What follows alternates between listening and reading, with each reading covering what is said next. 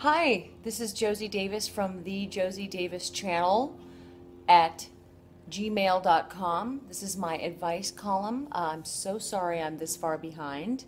Uh, I've been meaning to answer some, and I've been out of town shooting a movie, and it is done, and I'm back. And I got an email a while ago from someone named Pavan in Russia.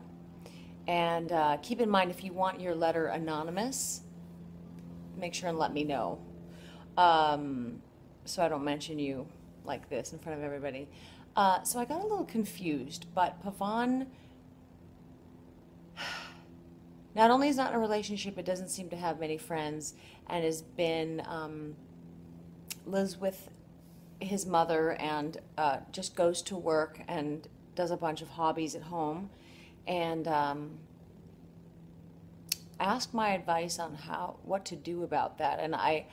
I, I, I'd like to know specifically what the question is, just so I don't misunderstand what I'm, I can guess that is, that he's asking, is how to be more social possibly.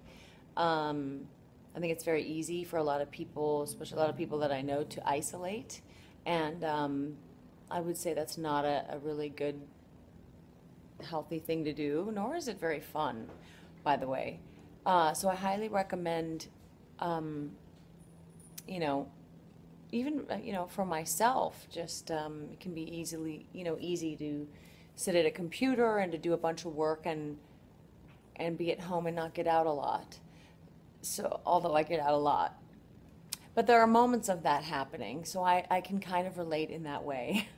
um, so um, I highly recommend being friendly and making friends, and I mean that's it. Then you end up making plans, and and it sounds kind of funny, but it's uh, it's pretty simple. But if you're a shy person, it can make life very difficult. And I used to be very shy, and I am no longer.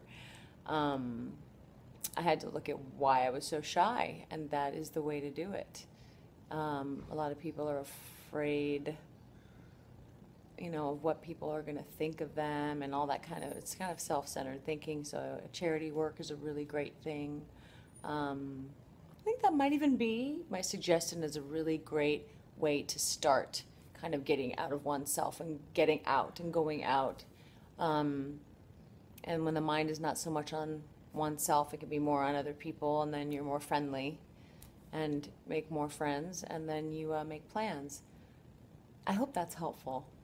Uh, I can only share my experience pretty much, otherwise I would just be, a, uh, you know, guessing, and that would be stupid, wouldn't it? Um, so anyway, thank you, Pavan. If anyone else wants to ask my advice, and I am not a therapist, I'm an actress and a uh, person trying to help in some way, and I hope that I can. Um, so, you know, feel free to take what you like and leave the rest. And email me if you'd like to me to put your question on like this.